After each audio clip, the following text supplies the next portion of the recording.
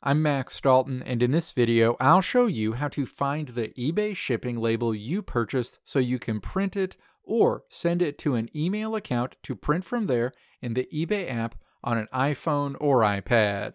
Step 1. Open the eBay app on your Apple iPhone or iPad and then tap Selling in the menu on this screen. Your eBay Selling screen opens. Step 2. Tap Orders in the menu a list of items you've recently sold is shown. Step 3. Find the specific item you've already purchased a shipping label for that you need to print and then tap that item. The order details screen for that item is displayed. Step 4. Tap the drop down arrow next to the Leave Feedback button. A menu opens.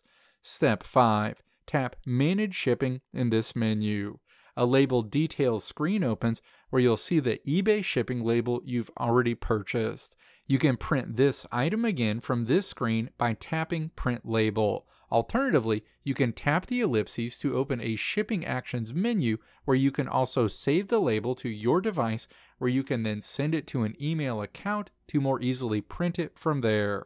Let me know if this video helped you out in the comments below. If you liked what you saw here, Click the video links on the right side of the screen to check out another video. Or click the logo on the left side of the screen to check out my tutorial website at www.maxdalton.how.